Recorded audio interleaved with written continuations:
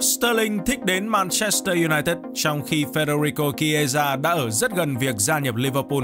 Ngoài ra, chuyện Kylian Mbappe nhận chỉ trích hay tin buồn liên quan đến đội tuyển Anh cũng sẽ xuất hiện trong clip ngày hôm nay. Không để mất thêm thời gian nữa, chúng ta hãy bắt đầu clip ngay bây giờ.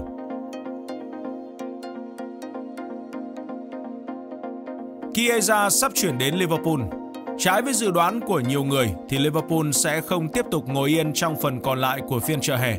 Thay vào đó, lữ đoàn đỏ đang hoạt động hết sức khẩn trương để theo đuổi Federico Chiesa của Juventus.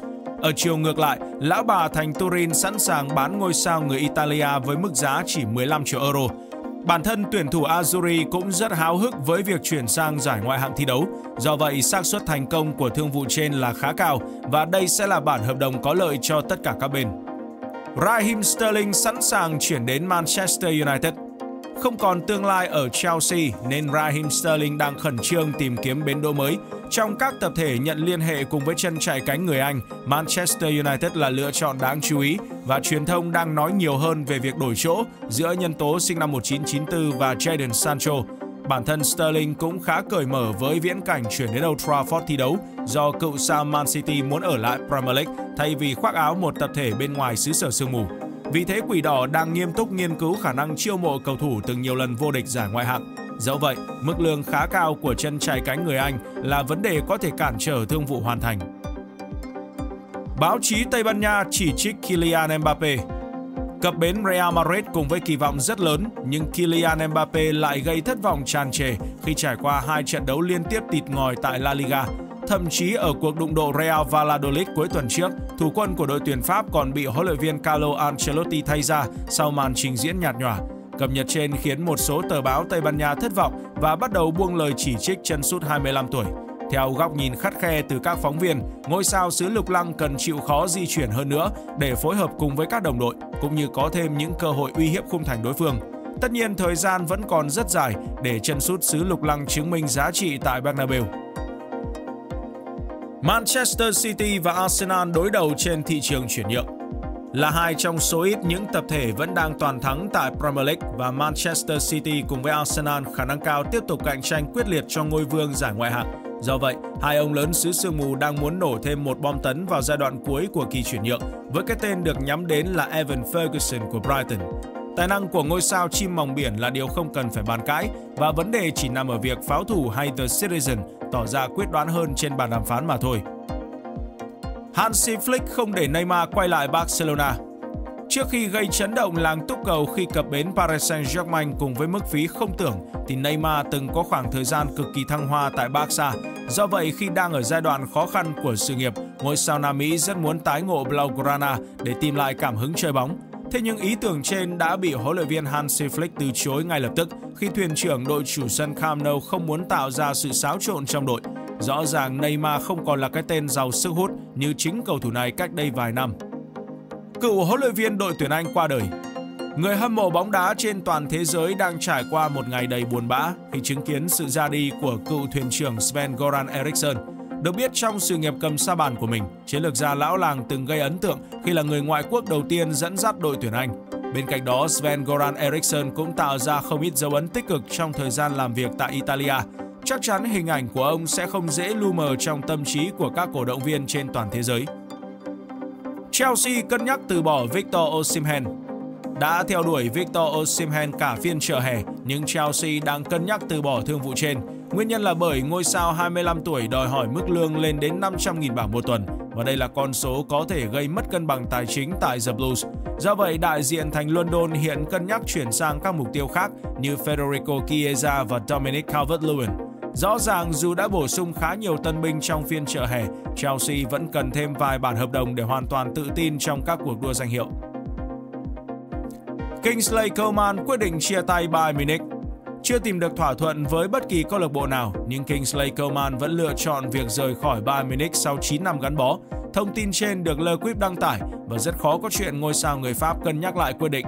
Do đó, mục tiêu của Hùng Xám xứ Bavaria là tìm kiếm đối tác phù hợp để thu lại chút tiền chuyển nhượng từ Coman. Đây chẳng phải là nhiệm vụ khó khi tài năng của cầu thủ xứ Lục Lăng là điều không thể bàn cãi. Juventus vươn lên dẫn đầu Serie A Việc bổ nhiệm Thiago Motta vào ghế huấn luyện viên trưởng cũng như chi tiêu không tiếc tay trên thị trường chuyển nhượng cho thấy tham vọng của Juventus ở mùa giải năm nay. Nhận định trên nhanh chóng được chứng minh khi lão bà thành Turin vừa trở thành câu lạc bộ duy nhất tại Serie A toàn thắng cả hai vòng đấu đầu tiên. Được biết ở cuộc đụng độ Verona đêm qua, tập thể áo sọc trắng đen dễ dàng đè bẹp Verona với tỷ số 3-0. Rõ ràng huấn luyện viên Thiago Motta đã bắt đầu để lại những dấu ấn tích cực tại Juventus và hành trình sắp tới của họ sẽ rất đáng theo dõi. Kepa vỡ mộng tái ngộ Real Madrid kiên quyết lắc đầu trước lời đề nghị khủng từ Tây Á để chờ đợi cơ hội tái hợp với Real Madrid, nhưng Kepa vừa nhận phải cập nhật kém vui. Nguyên nhân là do Lunin sẽ ở lại kênh kiến trắng, nên Los Blancos sẽ không gửi đến Kepa bất kỳ lời đề nghị hợp tác nào. Do vậy, thủ thành người Tây Ban Nha đang tính chuyện cập bến Bournemouth theo dạng cho mượn, trong bối cảnh không nằm trong kế hoạch dài hạn của huấn luyện viên Enzo Maresca tại Chelsea. Đây rõ ràng là bước lùi trong sự nghiệp của Kepa, dù ngôi sao sự đấu bỏ từng là thủ môn đắt giá nhất thế giới. Hannibal Matchbury rời Manchester United. Chẳng thể tìm kiếm suất đá chính tại Manchester United nên Hannibal Matchbury chọn cách chia tay quỷ đỏ. Phía ông lớn Premier League cũng không còn niềm tin nơi cầu thủ 21 tuổi nên chấp nhận bán đứt nhân tố sinh năm 2003 cho Burnley thay vì ký kết một bản hợp đồng cho mượn. Hiện tại, quá trình kiểm tra y tế đã hoàn thành và Hannibal Matchbury đã không còn là người của Manchester United. Rõ ràng dưới thời của Ineos, các hoạt động về nhân sự của đội chủ sân Old Trafford đã trở nên bài bản hơn khá nhiều. Liverpool chính thức chiêu mộ thủ môn Georgi Mamadashvili. Không có cú quay xe nào diễn ra vào phút chót và thủ môn Georgi Mamadashvili đã chính thức là người của Liverpool. Với mức phí khoảng 35 triệu euro, ngôi sao người Georgia có thể coi là một thương vụ hời của lữ đoàn đỏ.